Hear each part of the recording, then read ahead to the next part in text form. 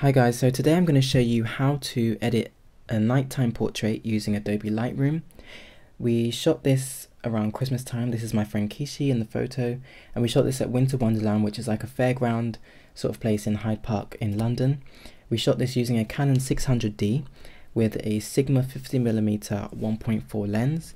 We shot it at f1.4 to get the most light and we used ISO 400 and the shutter speed was 1 80th of a second. So the first thing I want to do is crop this image in because it's a little bit off center for me. I like my portraits to be a little bit more centered. So I'm going to crop that in like that. Quick tip is that if you're trying to crop portraits for Instagram, Instagram actually uploads portraits at 4 by 5 aspect ratio. So, or is that aspect ratio? Yeah. So this is the format that Instagram up uploads their portraits in. So if you want to crop your picture before you send it to Instagram, that's just a quick tip for you. 4 by 5 or 8 by 10 But we're just going to keep it at the standard aspect ratio of 2 by 3 and we're just going to crop it in slightly. So the first thing I want to do, as you can see the picture is really underexposed, so I want to add some more exposure to the image. I'm going to go into the exposure and because we shot this raw, which is really important for night portraits, if you shoot in RAW, you have a lot more control over the lighting and control over the exposure, the highlights, the shadows and everything. So I'm going to go to the exposure and I'm going to put it up slightly. We're going to go put it up to, I would say about 0.8 should be fine. I don't want to push it too much because you'll start to see some grain come out of the image, which I really don't want. Some like noisy elements. So 0.8 should be fine. The next bit, which is my favorite bit and probably the most important part, of the image is the tone curve. So you want to make sure it's set to RGB so it controls all of the colors. If you're unfamiliar with the tone curve, you have the highlights up this end, midpoints in the middle, and shadows at the bottom. And what this does is you can just really control of it, control the image, and really play with the highlights and the shadows. So the first thing I want to do is make a point around here in the shadow section. And then I'm going to take the base point and bring it up slightly. And what that does is it sort of crushes the blacks so that they are not as dark and a little bit washed out. I just like that effect in my image. Um, obviously it's up to you, but I feel like it gives it quite a nice, cool effect. Then I'm going to take the point we just made and bring that up slightly as well.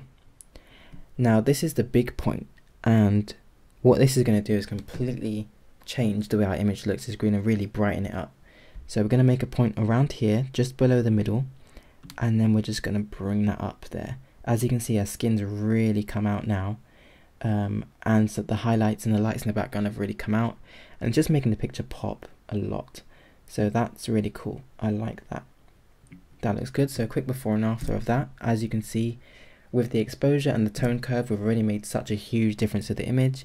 If you want to see the tone curve effect on itself, by itself, you can see it just there. So I think that looks really cool.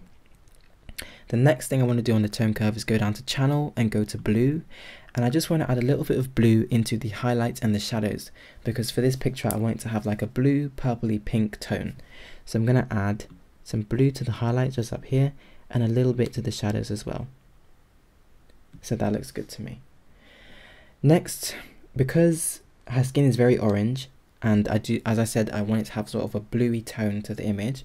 I'm going to go up to the white balance and fix that. So I'm going to bring it down slightly to about 4,400. And so it's at 4,464, which is good for me. And as you can see, it's just sort of brought down the orangey yellowy tones and just made it a little bit more cool, which is what I was looking for. So after the white balance, I want to go down to clarity and I just want to put that up and this is going to make the image pop even more. It's just going to sort of bring it out of the screen a little bit.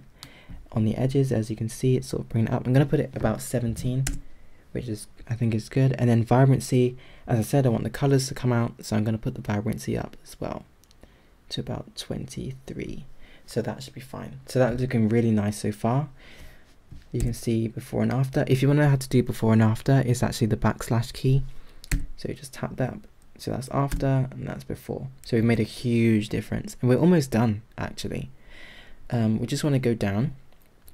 Split toning is the next part. And usually for my split toning, you can control the colors of the highlights and the shadows. So that's what it does.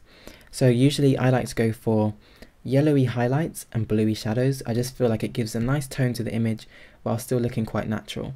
So for highlights, I usually want to go around 51, sort of 50, 51.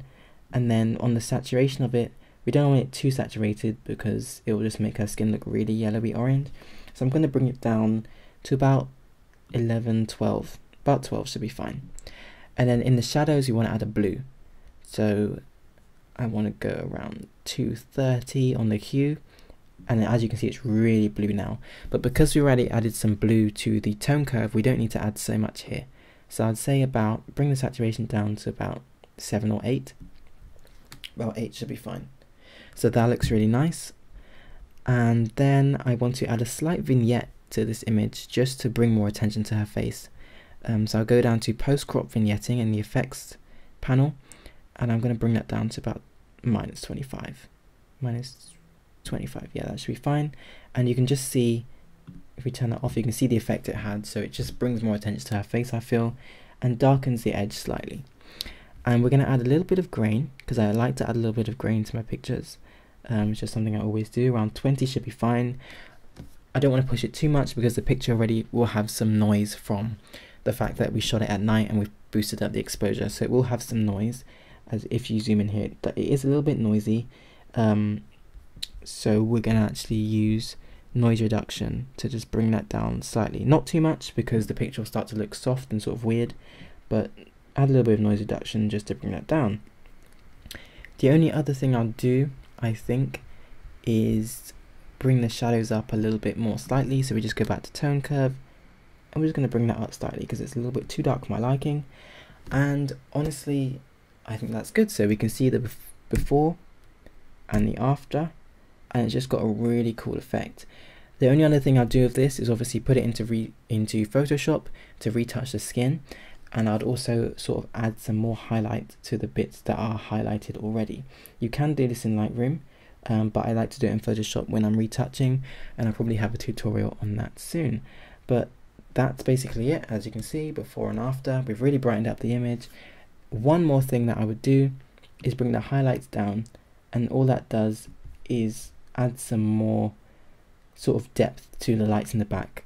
They were overexposed and blown out, but we're just sort of bringing that back slightly. So I'd say about minus 55 should be good for that. So hopefully you enjoyed the tutorial, hopefully you learned how to do it. This is my friend Kishi in the photo. Feel free to follow both of us on Instagram. We shoot all the time so you can catch up with what we're doing. And thank you for watching the video.